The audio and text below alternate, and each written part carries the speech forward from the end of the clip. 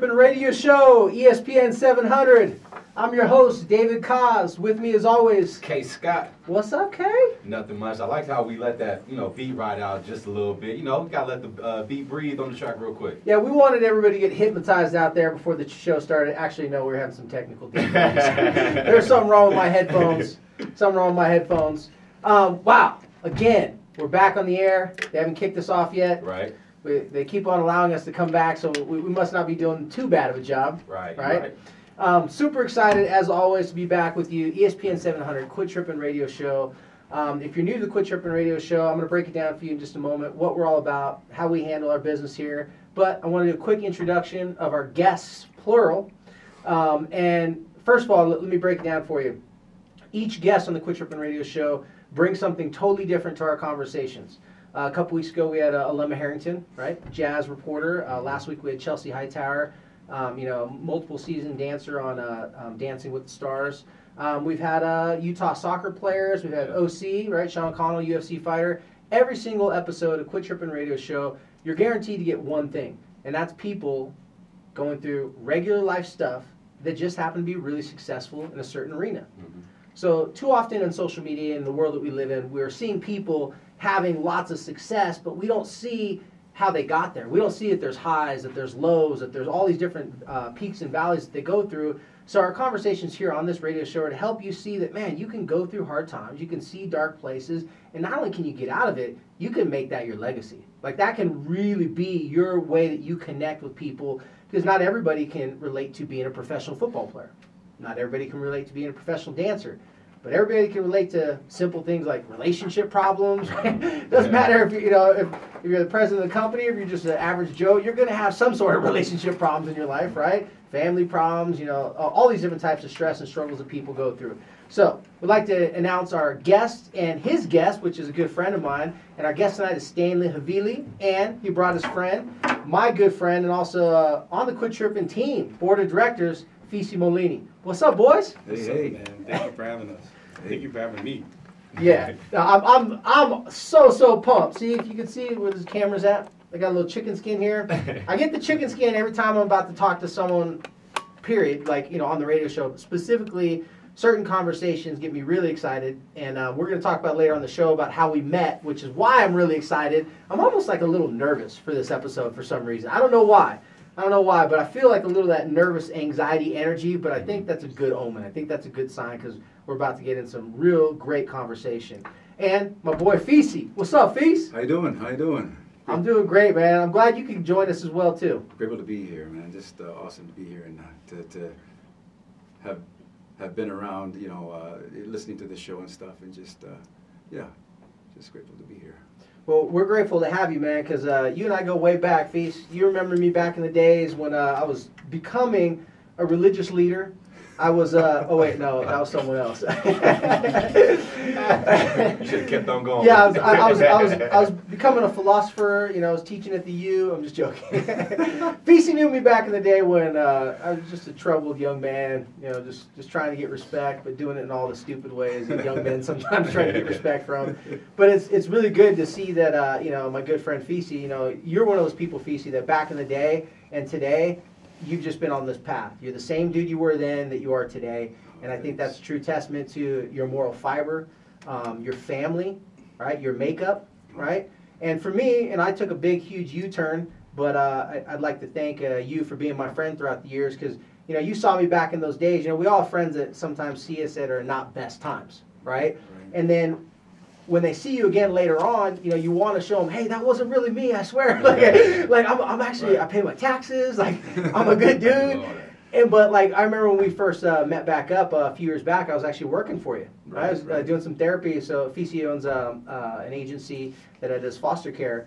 And uh, I remember the first time I saw you, and I was like, man, I don't know if Fisi wants me to work with these kids because he remembers me when I was a punk. And he's like, no, that's perfect, cause. I was like, all right, man. I really felt the love that there's no judgment of my past life that you're just going to give me a pass. Like, hey, that's just what you're going through, not who you are. So I just want to thank you on air publicly. Th- th- thanks for just being a good friend, man. Oh, I appreciate that, bro. Thanks. And Stanley, um, before we get into the show, we want to give some props to uh, our sponsors. We've got some really cool sponsors. let's start off with first of all our food sponsor. Here at the Quit Trippin' Radio Show on ESPN 7, we're a huge firm believer if as or a huge firm believer of if you eat good food, you're gonna have better conversation. Right? I, I think Polynesians, Totally. Latinos, right? It's like it's like the quinceañera. It's like everything everything it has to be revolved around food, and then after the food, you just get loose. You start talking stories, start hanging out. Um, so let's talk and give a shout out to LOL Hawaiian Barbecue. They are our official sponsor here uh, on the Quit Trippin' Radio Show for this episode. Uh, Brandon, will you run outside and, and get their address? I know exactly where they're located. I just want to make sure that we give a plug for the exact address. And uh, what do you guys think about uh, getting some Hawaiian food to start us off? That was so good. That was awesome. Good way to start out the, the interview. Yeah, great, great way to start the interview. I, I know Kay Scott's always like, "Hey, uh, can we just do Hawaiian food and sushi? Uh, All like, the just like get rid of everything else." Actually, the pizza was pretty darn good Oh too. yeah, of though. course, of Yeah. course, yeah. But uh, no, LOL Hawaiian Grill, 9460 South, Union Square uh, in Sandy, Utah. Um, you can come down to L, uh, LOL, not L and L, LOL. This is a family owned restaurant. Talk to them. Tell them the Quit Tripping Radio Show sent you. If you buy one plate lunch, one meal, you get the second one half off if you mention that you heard about them from Quit Tripping Radio Show. And we just want to give a big thanks to them because, man, not only do I love their food, but they're just great people. I mean, don't you guys see this when you go to restaurants and you find a restaurant's good food, but if they're great people there, like you just want to support them. Mm-hmm. Right? Have you ever had those restaurants like that? That those are your people. You feel like it's an extension of your home. Yeah. No doubt. Yeah, so that's how I feel about LOL. That's how I feel about um, Lana down there, and, and you know just their whole entire family, just great people. So like I said, 9460 South Union Square, Sandy, Utah, or their phone number is 801-748-3542. Visit them at LOL Hawaiian Grill on Facebook, and man, their breakfast in the mornings. You get portuguese sausage on Saturdays, the weekends. Fridays, if you guys like poke, get three different types of poke. Get some oka, guava cake. They got all the hookups there. So go down to LOL Hawaiian Barbecue, Sandy, Utah. Now, real quick, Skullcandy, thanks for always being there for us, for sponsoring us throughout the years. Deli Wasatch Provisions, my good friend Chris, they are the local distributor of Boar's Head meats and cheeses in the state of Utah. If you have not tried Boar's Head meats and cheeses, you've been you've been taking the lower shelf stuff. Boar's Head meats and cheese, that's the good stuff. That's the top shelf stuff. So, Boar's Head Meats and Cheese, local uh, distributors, Deli Wasatch Provisions. If it wasn't for them, we would not be here able to do what we're doing for you right now. So, let's get back into it really quickly. Stanley, if you're not aware of Stanley Havili and, and his athletic career and, and his past, um, we're going to talk a little bit about that to kick off the show. Um, Stanley is a local boy, right? Yep. Born and raised here in Utah. So, Stanley, t- tell us a little bit about the neighborhood you're from, a little bit about the high school you went to, just so I can listeners, because a lot of people listening have already heard of you, know you, but just in case people don't know who Stanley Havili is, tell us, tell us a little bit about where you come from. Yeah, I grew up down here in Glendale, Utah. Um, come from a bigger family, eight kids. Not as big as Fisi's, but uh, um, Fisi's family had to have three houses. Just Yeah. split them up. different neighborhoods. Different neighborhoods, yeah. Um, but eight kids. Uh, went out to Cottonwood High School. When my freshman year, I played football at East High School. Okay. Ended up, ended up transferring to Cottonwood, and um, the rest is pretty much history. And so out of Cottonwood High School, they felt bad for you, so USC gave you a scholarship. Is that how it helped? Yep. Isn't that how it happens? You get a scholarship at USC. That oh, he's trying really hard. no, I remember because I'd moved back to Utah from San Diego, and uh, I remember when you were picking your school. Right? Didn't the news come out and do a little thing on you? Yeah, I ended up um, having the opportunity to pick a hat on TV. Yeah. Which was pretty cool at the time, I thought. a lot more stress uh, looking back. I remember kind of rushed my choice. you kind of rushed your choice. Well, Yeah. re- remind us what were your final three choices? Final three were was Iowa, um, USC, and BYU. Iowa. Yeah. Well, Explain that one. Like, where where'd that one come Um, from? My first cousin, he was the tight end there, Tony Moeaki, Okay. Yeah. and um, just really wanted to play with him. And, and I told him, man, hey, give me opportunity to play there, man, I'll come if you, if you get me an offer there. And so they looked at my film and they offered me. Well, yeah, of course. I mean, especially, I bet you they're just licking their chops, man. Talk to your boy, talk to your cousin, man. Pull the family strings. talk to his mom. See if you can get his mom to convince him to come to Iowa. Because, so my family did a little couple years in Iowa. My dad went to chiropractic school out in Iowa when I was just born. We moved from California out there for a couple years, and uh, I'll tell you, I was a little bit colder than Utah. Yeah. I, I was an interesting place, man. That is a very interesting place. I don't remember too much of when I was younger. I went there once when I was older, but I was no joke, man. That's ice cold. That's that, that's In bone chilling cold. Yeah, yeah, I yeah, I, I, I was on a whole nother level. I ain't never been in Iowa. Wisconsin, those places, very cool. Exactly. So BYU, USC, I imagine BYU, you know, a lot of family, you know, the faith and stuff like that. Was was that a strong consideration for you to go to BYU? Yeah, I grew up. Uh, sorry, Kenneth. I grew up uh, BYU fan it's all good. my whole life, and I wanted to play for them. Well, hey, I, I get it, man. I mean, if, especially being Polynesian from Utah, you're more likely to grow up wanting to play for BYU. Utah, the University of Utah has been more of a resurgent in the past decade or so. And starting obviously with Coach McBride, we had him here uh, as a guest and what he did for it. But yeah, I mean, growing up around here, BYU, I wouldn't blame you one bit, especially the position you play being on offense, right? Yeah. So you said you, you had a little regret that maybe you made your decision a little bit too quickly. Did I, I sense a little, if you had to do it over again, do you think you would have considered BYU a little bit more, or was there another school? Um, I think if you gave me more time, I'd choose SC again. Okay. oh, you just didn't want to make a choice too fast. Yeah. That's what it was. Yeah. Just out of curiosity, what- what- I really thought he was going to say BYU. You know, I, I told the story before we came on air. One of my good friends, um, uh, John Allred in San Diego, he got offered USC and I didn't. And I remember I, I went up there one time and I, I acted like I didn't care, but it wasn't true. I, I wanted to go to USC so bad. I was like, oh, that's right. And I'm having fun at the University of Utah. I didn't go to USC, but when I went up there to visit, it was pretty dang cool. Yeah. So had a great experience there. great experience. Some Great lifelong business. friendships, relationships there. Yes. Who, who are some of your boys you, you still keep in close contact with? Uh, one of my best friends is his name is Fili Moala. Yeah. Uh, he played D line. I actually got to play with him for when I was with the Colts, which was really cool. Wow. Um, and then I still talk to Brian Cushing. He plays for the Texans. Yeah. Yeah. Um, Of course. Yeah. Mark Sanchez was my roommate, so I talk to him every now and then. Mark Sanchez was your roommate? Yeah, roommate. he was my roommate. And Right. Malcolm Smith, I, I talked to him. He was the Super Bowl MVP um, when oh, yeah. when Seahawks won. our, our, our producer Yeah. Trevor doesn't want you to bring that up. yeah, so that's my guy. You got the same agent, Ken? As Malcolm Smith. Who's who's that? Uh, Michael Sports? Hoffman. Yeah, Yeah. I'm with Premier too. That's what's up. Good people. Good people. Mhm. Good people. I want to make sure they're taking care of my boy Ken. So I'm like, if there's something going on, you let us know off the air. We'll pull him real quick. They're the best. no, that's great. That's great. So you go from you go from high school, Cottonwood, right? Go to USC. Um, tell us a little bit about that experience. Now, you actually had the reverse experience from a lot of guys like me and Kenneth. So me and Kenneth, we came from California to Utah. Mhm. That's a culture shock. I imagine going from Utah to California is a l- some sort of maybe not a shock. I don't know. Like, what was that transition like for you as a young man, 18 years old, going from you know safety of family and home and stuff like that, going to a place like USC? Man, it was a culture shock, but it was um, being a part of a, a football team made it easy. Yeah, you instant family. Instant family. Mhm. That's your fraternity. Exactly. And you're able to relate with guys right off the bat. You know, you have your class that you're coming in with, that you're hanging out with. Um, so it wasn't that hard of a transition because all we were doing was football, Yeah. football in school. Um, so it was pretty cool to just be around guys that you watched um, on TV, and um, I think back then rivals had just come up, Mhm. and you know I was researching all these guys, five, four-star guys. So it was kind of cool to be around them and compete. Yeah. Yeah. No, nobody got a free pass to go to USC, right? I, I might have got a free pass. no one besides you. Yeah, no one besides. They're like, oh, he's from Utah. He looks amazing. He's like, everybody else is really slow there. That's why. no, I remember when they when they did the whole news thing. Uh, when you're choosing what school, they did a little highlight film of you. I was like, man, so you were like a four two.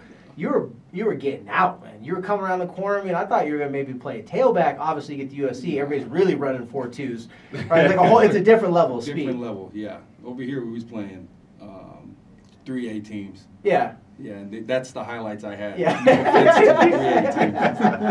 No offense to those guys, but Oh, man. I, and I remember when we got out there and we um, we started running sprints, you know, and I'm with the running backs, and I'm looking around me. I'm running next to D linemen and offensive linemen, and I was Yeah. surprised. I was like, "Dang, I'm slow." Yeah. I knew I wasn't that fast, but I realized I was, you know, there was a different level of speed Yeah. when I got to SC. Wow, yeah. No, I, I got a question for you. Um, here at the Quit Trippin' Radio Show and E ESPN 700, obviously we're a sports station, so a lot of people are going to be listening to are sports fans. You came into USC at a very interesting time. Yeah. I mean, I mean, I huge UFC USC USC fan, Reggie Bush. I mean, the dynasty and everything like that. And you came into it at a huge like upheaval. Some would say a big turnaround. So what was that like? And the reason why I'm I'm connecting this dot because everything we talk about is relationship related in some way, right? You have a relationship with your family, with your friends. You have a relationship with your school, your business, your work, your past, your future, right? So we have all these connections basically is what a relationship is, right? So I was wondering like going to USC at that particular time, what did you sense that was probably happening different? Because you were going to them not at their peak, but as they're coming down from all their sanctions and stuff like that. What did I sense? Yeah, like what, what was your experience? Like, how do you think your experience was different, or how do you what do you think was different at USC at that particular time while you're there? It doesn't necessarily have to be a bad thing. Maybe it was some good stuff. Um, man, I was coming off right when Reggie left. So Yeah. my class was the class that Reggie left. Yeah. Reggie and LenDale. Yeah, So in my class, we had a bunch of um, five-star running backs, you know, which was cool. And then we had probably one of the greatest linebacking cores of college football Man, back in the day. You know what I mean? Yeah. And, and, I think looking back, we didn't really realize the talent we had um, because we had lost Reggie and Leinart and, and LenDale and, and that group of guys. But I mean, Pete did a good job of, of motivating us and making football fun. Um, but yeah, we had a, a great time at SC of, of competing every day, and it didn't matter if, if I was there my senior year or if I was just coming in. He was giving everyone an opportunity to play football That's awesome. and to start. It wasn't just coming in. He he was selling this. You know, you could come in and you'll have an opportunity to play training camp. You'll you'll run with the ones, and a lot of a lot of coaches say that. But I remember he actually did it. Oh, my first training camp, I was in with the ones, getting my head blown off. You know. By Taylor Mays? You ever got hit by him? Oh yeah, I didn't. He didn't blow my head up. Because he was a beast back then. Like, man. He- he was a beast at and- later, yeah, right? Me and Yeah. Taylor is the same age, so you know we were competing the whole Uh-huh. time. But by but by our linebackers, yeah. Well, you know that, that that's a that's a great testament of a of coach because, you know, a lot of coaches like you say, well, like, hey, everybody's have a chance to play, but then they have vested interest in certain players to be successful, right? And so like, I want my boy to be successful because it make me look good, and so that must have been really good for competition. If he said, all right, you're a senior, you're an All American, but this freshman right here, if he beats you out, he wins. Like he plays, right? Like it's an even playing field, and just let people settle it on the field. Exactly. You know, I, so when exactly did the sanctions hit? Like when did uh, Coach? Because you were there when he left, right? Yeah, so I was there with Pete for four years, and I caught Lane for my last year. Um, so I really was just a part of the sanctions my first year. Okay. My last year. Your last year, yeah. last last year. Okay. For some reason, I thought it was earlier. Okay. Yeah, but so I played in three Rose Bowls, um, the, the Emerald Bowl before he left, and then Lane came in, and then we didn't have a we didn't have a bowl game. There. Yeah, you weren't allowed to go to a bowl game. Yeah. So, um, did you feel like because of that, it, it, it tainted your experience there as a college athlete, or is, it was just so much positive was going on? It was unfortunate, but it really didn't ruin it in any way. No, yeah, it didn't ruin it. I loved it, man. It, just to be around and, and to watch football today. You know, I'm, I played with a ton of guys that are playing on Sunday Yeah, right now yeah. that are younger. So it's pretty cool to sit back and watch games on Sunday and be like, man, I remember when they were on the recruiting trip. I Yeah. remember competing with them. You know, so it's cool to sit back and look at that. And, and you know, when I was playing, it was cool to, to talk to guys after games. You know, there was always a handful of SC guys that we can meet up, take a picture, you know, chat because we have a lot of memories together. Um, so it was pretty cool. Do you feel like you guys have a pretty tight knit, good camaraderie with the guys that you played in that area? Because I know Fisi and myself, you know, our, our years with McBride and the U, Yep. it's a very, I mean, you can tell some years weren't as tight with other groups, but it sounds like you had that niche, and like not that niche, but that group of people in those years where you're there that you guys were tight. Yeah, we had we had a great time. I mean, we were able to mesh really well. I think that's what Pete does a good job of of kind of building that com- camaraderie with the with the, the team. You know, and Well, he's a relationship guy. He is. He said it over and over, and like that's why he went back to college because he's like, I can influence relationships, and it took him a little while to do that in the pros for obvious reasons, money and stuff like that. Exactly. But he is, is from your experience, is, is he a high value in relationships? You know, respecting other people and stuff like that. Oh yeah, he, he I mean that's what he talks about. You, you treat you know the janitor the same way you treat our starting quarterback. Mhm. There's no difference in treatment from Pete. You know, which was really cool to see, and it, and he showed it every day. It wasn't just a talk. So w- was it hard for you to watch a lot of the attacks on him and the tarnishing his name in that last year when you were there? Because Um, that's what was happening. I don't know if you recall, but that's what was going on. A lot of people are saying, you know, it, it was hard for them to nail him for being shady in any way, but like, how could he not know? I mean, I just remember at that time, it was like, because he was a huge favorite coach of mine, even though I never played for him. For me, just watching like him, his, his name kind of being drugged Yeah. through a lot of situations, Yeah. like that was hard for me. I just wondered for you being a player for him. I think I think as a team and, and just personally, we weren't even focused on what he was doing. I think we were kind of just like, all right, who they're gonna bring in for us, and and how are we gonna, as a senior, you know, lift up the younger guys and show them like, man, this is not over. We have an opportunity to, to create our own legacy and, and start it from here on out without Pete. So, so you didn't take it personal that he had left. No, not at all. You understood. You, Yeah. you get it. Yeah, everyone did. Okay. Yeah, because you know sometimes a lot of people, you know, it is a business, but sometimes younger people like, wait, what's going on? Like, how come? How could he leave us? Stuff like that. In that situation, I think he, you know, he made the best. I mean, what's he gonna do? Stay around and you know, like Exactly. take blame for something that you know he obviously you know said that he had nothing to do with. Exactly. Um, so, uh, but before we get to break, I want to I, want to crack open a, a little topic and discussion that we can come back to after the break. If you've been uh, listening to Quit Tripping Radio Show on ESPN 700, like I said in the very beginning of the show, every one of our shows are deep conversations with real people talking about real stuff. Today, our guest is Stanley Havili. Brought his good friend and my good friend, um, Fisi Muleni, and with me as always, co-host uh, Kenneth Scott.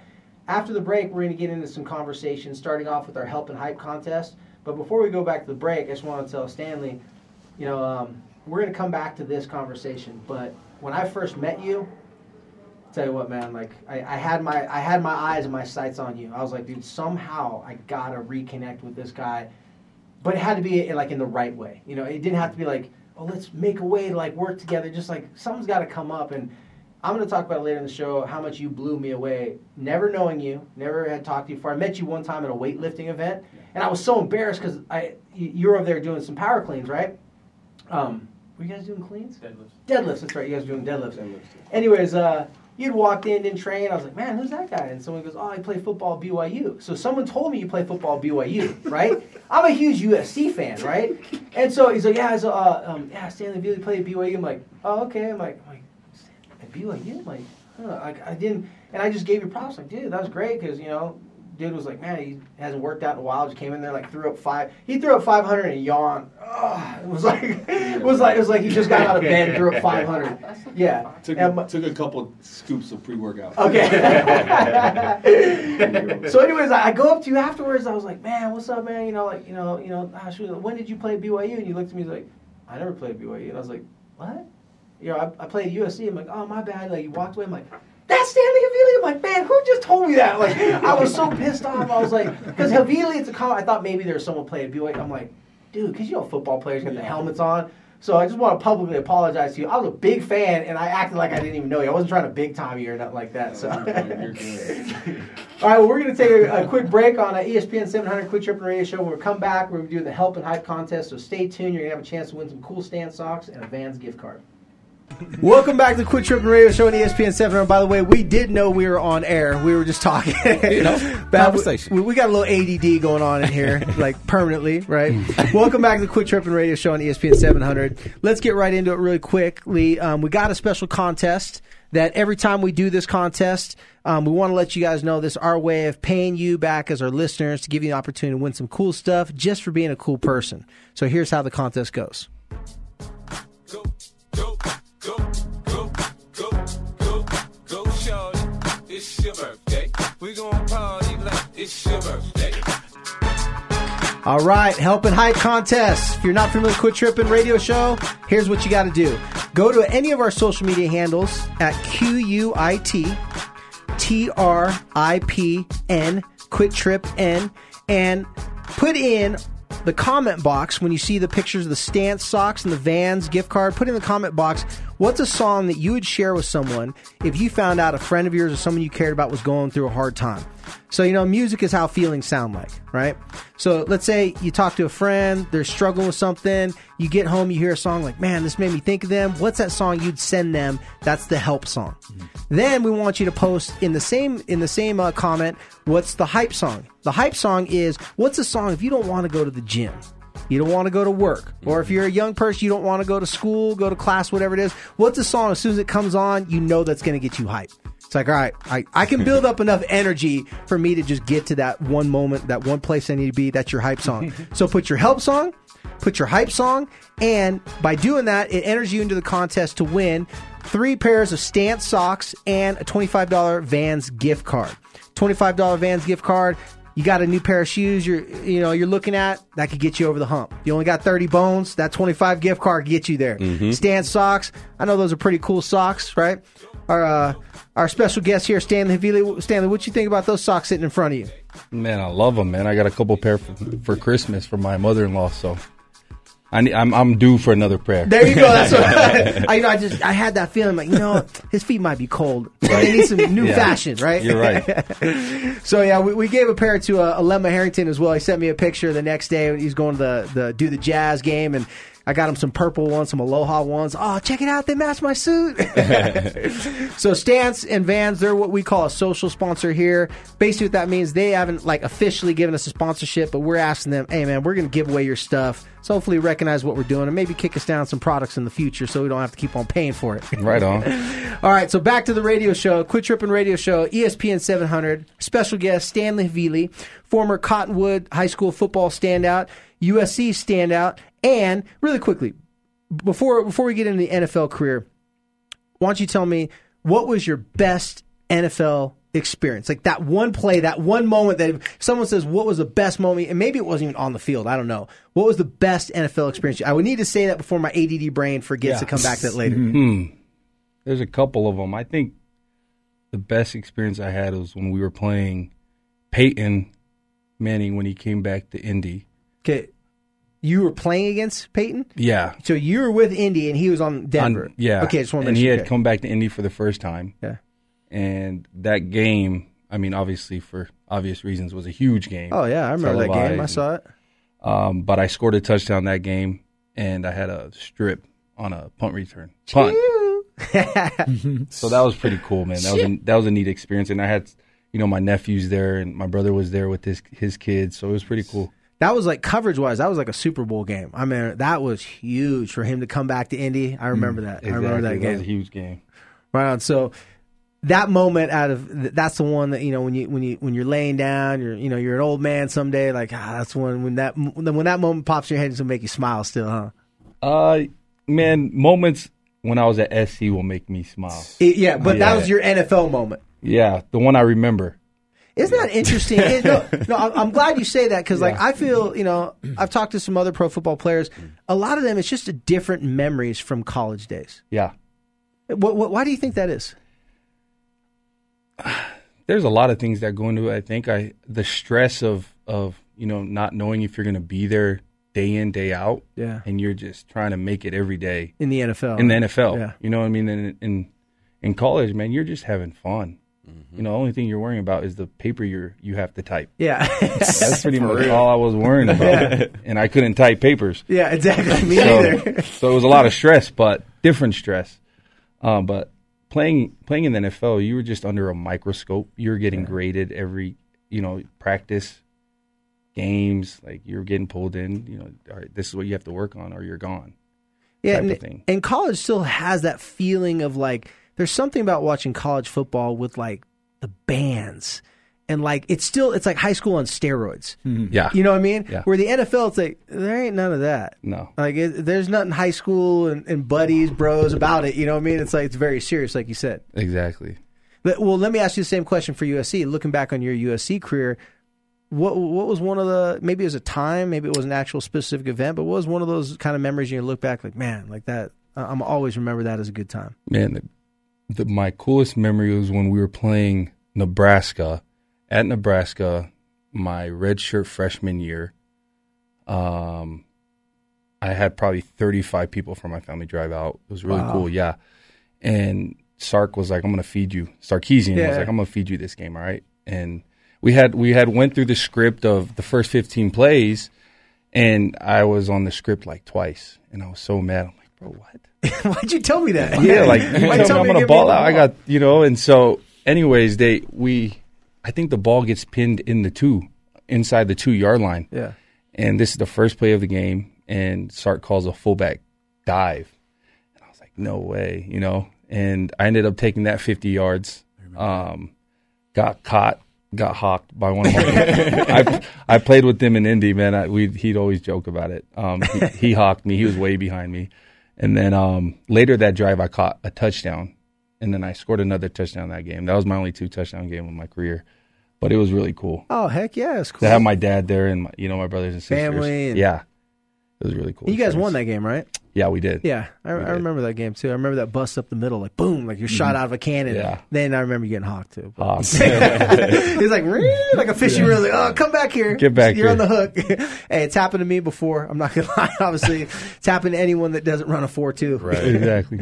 So let's talk about what you got going on right now. Because uh, I mentioned before the break on the ESPN 700 Quit Trippin' Radio Show that when we first met, I mean, not knowing you, you know, just hey, what's up, what's up, blah blah, and then all of a sudden, from the first second you started to talk, I was like jaw dropped, and I was just like laser focused. I was like, okay, like this is legit. Like not too often do you get surprised by mm-hmm. hearing someone talk. Like not too often does someone totally blindside you and catch you off guard. At least in my case, when someone says something that like I get, I feel people saying deep stuff all the time because that's what I do for a living.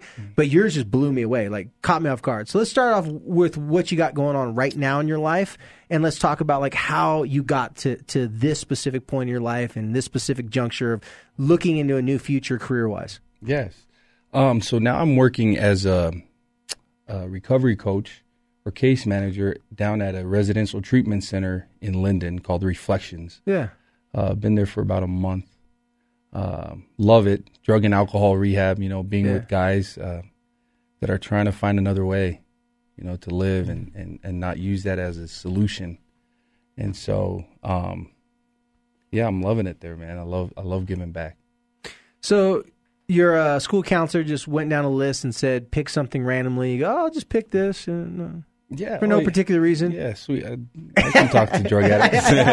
yeah, I mean, I, I don't know if I have anything to offer, but I'll give it a shot. Right? Exactly. Yeah. I don't think anybody ends up in in a circle or a room thinking like, "This is what I thought my life would be."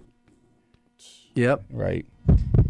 You know, oh yeah, by the way, I almost forgot to mention, thank you very much, Trevor, behind the boot there. Whenever you hear a two pound pound, two heartbeats on the Quit Trippin' Radio show, that's what we do in our social support groups. Someone says something that you feel, someone something you connect with, or just want to let them know that you don't want to interrupt them talking, but you want to let them know that you you get what they're saying. We just pat our heart twice, one for me, one for you. On the social media, we put two hashtags because hashtags, you know, how you connect people to Yeah. information. Two hashtags, one for me, or pound pound sign for the older people, right? And uh, two pounds on the chest, but on the radio show we dropped the two heartbeats. So when you heard it. that two heartbeat, that's that's letting you know that we're feeling it. We're That's what's feeling up. That's what's up, man. It. So now let's get a little bit deeper. Now Oh, we're yeah. stretched out, man. It's time to get in the game. Put me in, coach. Yeah, in. now let's get in the game. You're not doing this um, recovery coaching by accident, are you? No. So what's No, up, by. Like, how did you get to this point? Because, like I said, you're playing the NFL. Yeah. And uh, just so our listeners know, how long have you been out of the NFL? Uh, two years. Two years. Two so years. we're talking like 700, like 800 days and some change. Like, Yeah. like not very long ago. Not long at all. Right. No. So one moment, you know, you're doing the touchdown dance. I don't know if you Yeah. ever dance after a touchdown. Can't Probably dance. not. Yeah. Okay. Can't dance. well, maybe salsa or something like that, Yeah. but not you know, not that kind of dance, right? So you know, you're playing football and stuff like that, and now you're back in your home state working as a recovery coach. How did how did that whole entire thing happen? Um, really, to I had to hit rock bottom. Yeah, I had to hit rock bottom. I'm not. I'm not doing recovery coach. Um, Because it's sexy. yeah, or because it's making me money. Yeah, or yeah, it's because Yeah. making you a millionaire. Yeah. yeah, it's, it's because I'm passionate about helping other people um, and understanding like, hey, I've been there before, you know. So it's cool to sit down with people that are at their bottom that want help, just don't know how to get out. You know, there, there's been a buzzword going around for a number of years now, um, and it was more of a curse word when when Fisi and I were growing up, and I'm sure much for younger guys too. And it starts with a V and ends with an vulnerability. Yeah, And uh, that word is one of those words where it's like you can't get away from it nowadays. No. You know, and you know I, I'd like to say it's just being real, like real, like in the rawest, rawest Yeah. form, right? It's like I'm all out. You know, I can't, I got got nothing left to hide, right? This Nothing is left. rock bottom, like you said, right? And it's just so interesting to me how it doesn't come intuitively to be vulnerable, but at the same time, when we see someone else be vulnerable, it's intuitive for us to know what they're doing is real. It's like we respect it, we see it's genuine, mm-hmm. and we want to be there to be supportive. But yet there's a fear inside of us and a resistance like, well, I can't do that though. It's like I'd, I'm better at helping someone being vulnerable versus like being vulnerable myself. So that takes us back to the conversation that I was referring to when I first heard you talk, right? Yeah. So there's big Polynesian mental health conference, and um, the, wh- when is it going to be? And again, May this year, right? I believe so. Yeah. Yeah. Um, and so, you know, they're going to be doing this annual conference. Well, last year was the very first one, right? And they asked Fisi, myself, Stanley, uh, a couple other people that work with mental health stuff that like that in the community um, to get up and talk for a little bit. Well, um, you know, we all had our little topics to discuss, and and uh, mine was on suicide, and yours was really bearing your your stare, your story and your Yeah. testimony and like your journey. That so back to real quick before I get too sidetracked because I have a lot of I want to say. So I get up there and I start talking, and I, I made it very obvious and very apparent. Like I, you know, you like to talk. You're honored when someone asks you to talk, mm-hmm. but I just didn't want to talk. it was just it wasn't that time where I wasn't on my. I didn't want to do it. I didn't, and I told Alema when he's here. I was walking out the door, like I had my clothes I was going to put on, and the only thing that turned me around to like I need to talk was I saw my Junior Seau jersey hanging up in my closet because it's right by my suits. It's pressed. I had it specially made. It's an all black jersey. It's a memorial jersey with the lightning bolts upside down, like for him. It's just kind of one of those things I, I thought of doing. And I said, forget it. I go, "Well, I can't be like, oh, I can't believe I got to talk. I got to be more like, I can't wait to talk. That's how I'd like to be. So I put mm-hmm. on his jersey and it gave me, I don't know, it's like, like that Fa'amalosi. Like I was like, oh, like I was like, give me that courage. You know, I was like, I, I can do this. I can do this. And then I get there and I start talking and in like 30 seconds talking, I'm bawling and crying like a baby. I'm like, mm. oh man. I'm so off Kasi. I, I look like I'm Italian or something like that. They're already like, who's this dude? He ain't even Polynesian up here talking. Last name Kozlowski. Like, so it's like throwing everybody off. I'm probably can't understand me talking because I'm crying. But I remember looking over in the audience as I was talking. I was, I like made, I made eye contact, looked at you, and you're looking at me like, keep going, dude, keep going. I was like, okay. I'm like, all right. Like, I just made eye contact with a couple people that gave me encouragement to talk. But then when you got up and you started talking, dude, like, it, like I said, it blew me away, caught me off guard. So if you wouldn't mind, um, for our listeners, hey, can, can we go ahead and condense this break, Trev? We good? Can condense it? Okay, good. Can you go ahead and tell our listeners? And obviously, you don't have to say the exact same thing you said there, Yeah. but like you said some things that I would pay a grown man to say. Mm-hmm. I'm like, how much money do I got to pay you to come talk to this youth and admit and talk about some of these things that just mm-hmm. you're told you're not supposed to be that real. Mm-hmm. You're not supposed to be that vulnerable. Somehow, something inside of our brain said it's a weakness. People are going to judge you. They're going to criticize you. But like, dude, like you were all out there and you really put it all out there and it blew me away. So when you were asked to talk and when you went there to talk, like, what was it that like came to you that said, this is what I have to say? Like, how did you know what you needed to say? Um, I think right before that, um, a player I played against had just died um, because of an overdose of, of pain pills or something, and he had went to Iowa. He played with my cousin, and I was just like, man, I got to tell my story. You know, I, his mom is out there fighting for him, Yeah. and so that was hard. Like, man, I'm grateful that I get to tell my story, and that my dad is not telling my story. You know, but that's what made me like, all right, dude, it's okay to be vulnerable. It's okay to tell your story because if you weren't telling your story, you'd be dead. So just tell it. You know, what's your other alternative right now? You, you lived through that to tell it, not to hide it. So it was cool to to to have that opportunity to say, kind of be vulnerable with people and, and in front of a crowd. And I hadn't spoke in front of anyone before. You know, I, I I don't have that confidence. I don't think if you hit rock bottom, you have much self confidence. Um, Yeah. or much self worth for that much. And so for me to get in front of that crowd, I think it was um, very not even beneficial for the people there, but for me to say, dude, it's okay. You know, you can be vulnerable and, and people will still love you, you know, for your story. I imagine that that feeling was even in in some ways, maybe not in all ways, even more nerve wracking than going into a big game. Oh yeah, way more. Wait, what? way more. And I, you know, I have a face mask. I have a helmet. Yeah. Right, Kenneth. You're just, just you don't have to talk. You're just in your comfort zone. yeah. You know, and, and to be in front of people at a health conference with my parents there and my brothers and sisters there and the Polynesian community, people you see on the street, you Yeah. know, that you grow up with, and and for you to tell them your story. It was hard, but you know, hearing what what you said there, you know, helped me. I remember just looking at my wife like, "Holy crap, he's telling my story," you know, which was crazy.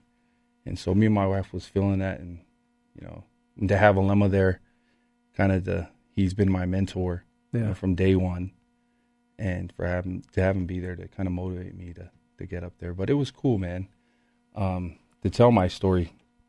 But yeah, but it's just a good experience, man, and I'm grateful to to be here.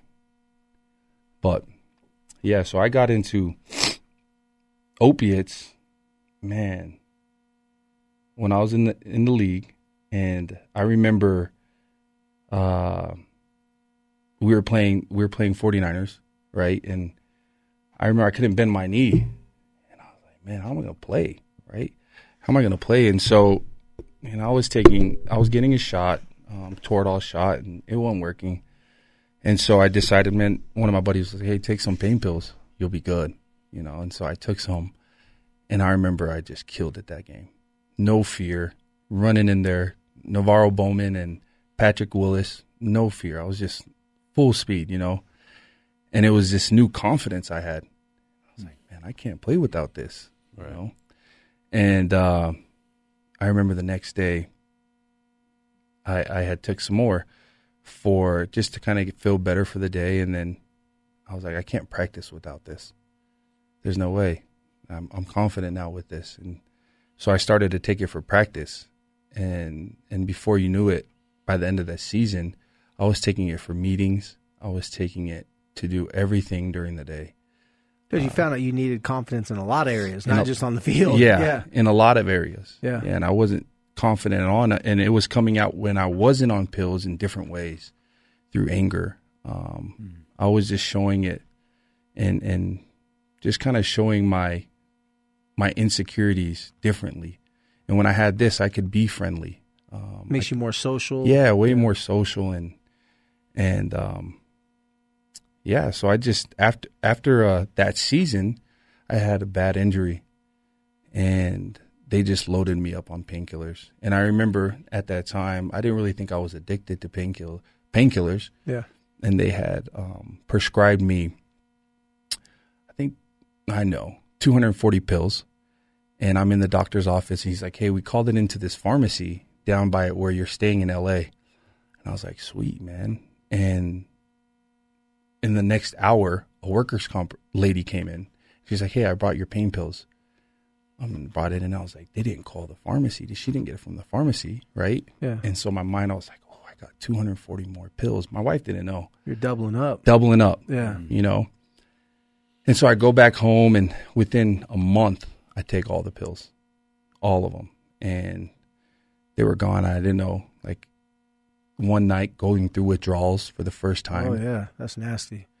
I was like, man, I don't know what's going on. And so I, I had reached out to a couple friends and ended up finding someone I could get pain pills from, you know. So he started coming over, and my wife would be like, "What are you doing? You know, why are you going outside at eleven o'clock at night?" And I'm like, "Oh man, I'm gonna um, remember all those pills that we got, the extra ones. I'm just gonna give some to my buddy, you know, just lying." Yeah. started to lie and and um, ended up that season I was on PUP because my sho- my shoulder was so bad, Yeah. and uh, that year that summer I had failed the drug test, and in the NFL you go into a program Yep. where they drug test you once or twice a week, and I couldn't stop, I couldn't stop using, and so I was failing every drug test I took, just lying to everyone like, oh yeah, I'm good, I'm good, and so they ended up putting me on Suboxone that year, Yep. and I was on Suboxone that whole 2014 season, and I was just numb, numb to everything, no feelings. I wasn't Suboxone wasn't making me high. Um, I wasn't. But it getting- saved you from the withdrawal. saved me from the withdrawals initially, right? And um, I remember just my wife was like, "Man, you're just not, you're not there." And I'm like, "What do you mean? I'm I'm not using pills. I'm good." You know. And so after that, I went to, I got cut in Indy, and I I got picked up by Seattle, and within five weeks, I had come up with this wonderful idea that it was better to come back to Utah and get drugs Yeah. and it made sense in my head at the time. And so I walked up to Pete Carroll's office and I said, "Hey, man, I'm just gonna go home. I'm not. I don't want to play anymore." And I was so excited at the time. You know, You're free. I'm free. This Yep. is perfect. You know, I get to go home and just be happy with drugs. Um, and so I just packed up my family and drove back in, and that's when the spiral got out of control.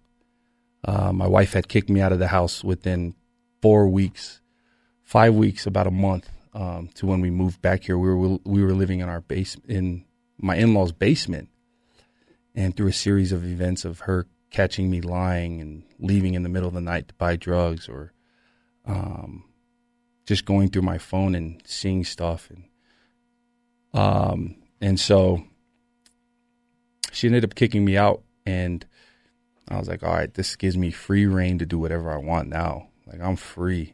Don't have to worry and I have two kids. You know, but the insanity in my mind of man, this is perfect. So I went into a hotel and, and just started to hop, hop around different hotels looking for the best price. Um, and just isolating, you know, slowly isolating. Like, uh, and my family at this time had no clue. They had no clue. They didn't know how deep you were. They didn't know how deep I was. I would Yeah. invite my nieces and nephews over to the hotel I was staying at to come swim, and uh, I wouldn't let them up to the room because I had all my stuff there. You know, I had food there, groceries. I'm like, no, I can't bring them up here. You guys could come. I'll get hot- I'll get the towels, bring it down, Yeah. come swim, change in your car Yeah. but I thought it was a good idea. No one knew the depth of, you know, the pain, not even the pain because I didn't really re- really realize where I was at. Um, and then they didn't really know how far gone I was and, and how broken my relationship was, was with my wife. Um, and so kind of fast forward, you know, that, that seven months is pretty much a blur. So so that was a seven month period of time from when you got kicked out until things got just is the ultimate, right? Yeah. So so um w- what we're gonna do right now is because uh you can tell like we're start we're creeping we're creeping Yeah. we're, we're we're climbing into this right now and Stanley just like I said earlier in the show it's like it's it's dudes like you coming on radio right now in 2017 that can make a serious serious impact and influence not just youth but older people out there too. Because what you're talking about right now what you're saying is like this is how my mind thought about this and this is how my mind thought about that. You're mapping out how so many people think when they are chasing after that thing mm-hmm. to help them get away from all that truth, all that honesty, all the stuff that like, man, I'm too deep now. Like I can't turn turn do a UE right now. Like I'm Yeah. way too deep in this. So what we're gonna do when we come back after the break, we're gonna pick it up from that particular point and we're going to get even you know even even deeper into it because I'm really excited about the conversation that's coming up. I can feel it's going in the right direction. So thank you again, Stanley, for being here. Uh, Quit Trippin' Radio, ESPN 700. We'll be right back after the break. We, We